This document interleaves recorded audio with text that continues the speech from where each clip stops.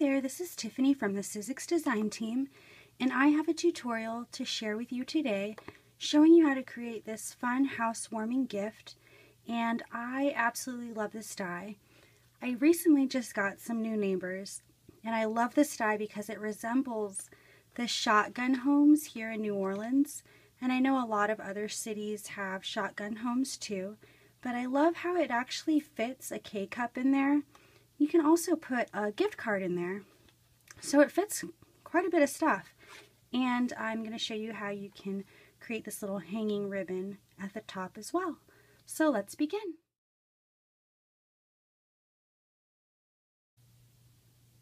For today's tutorial, I'll be using the Sizzix Box House from Where Women Cook. It's a really cool die and all you have to do is run it through your die cutting machine two times so that you can get um, the three-dimensional house and roof.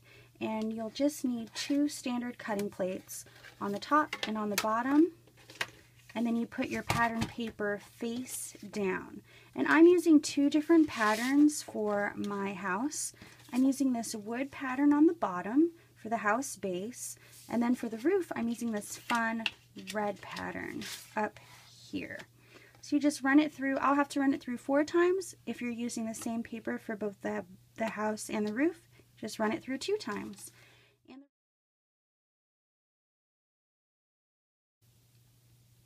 so here's what it will look like once you've die cut this.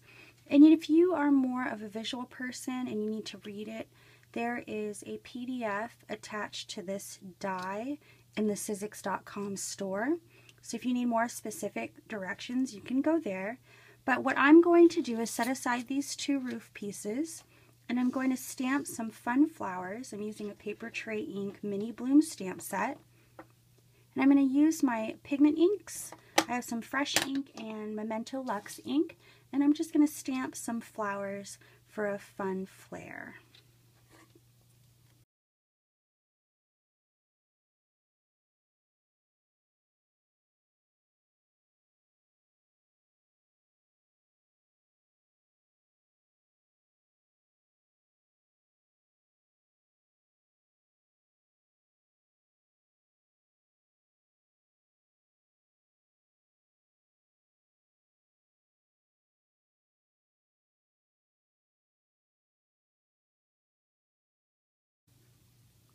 Once you have everything stamped, you're going to add your Crafty Power Tape, which is a permanent double-sided tape.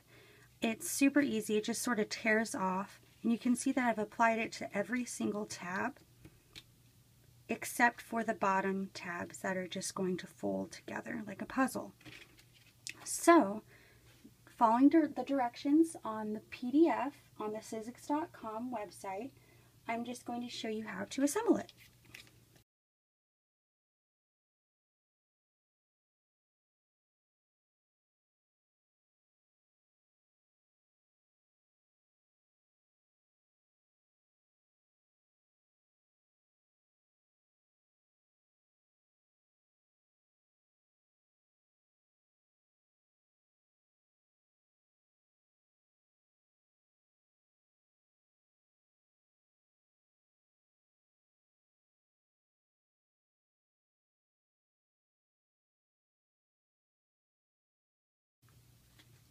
So that's how you do the house. And when you get it to this state where the top is open and the bottom is open, you're going to move on to the roof, which is a little bit more complex. For the roof, you're going to connect the two triangles and tuck that tab underneath and connect the two long triangles at the bottom. And you're going to make it into a valley. And then you're going to connect this loose triangle to that right there, that second tab. So it will start to form a roof.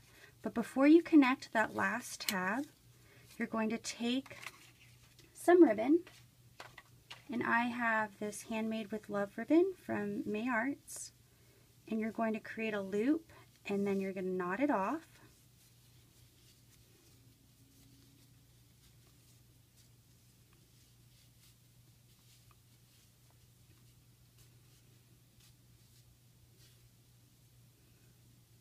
And you're going to add that to the center of the roof.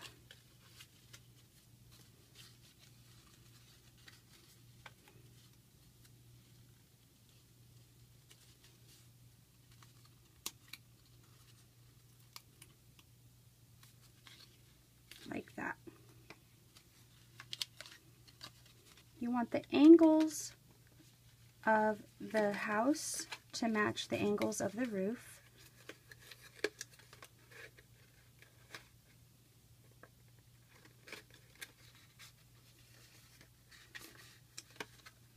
So you just can do one at a time.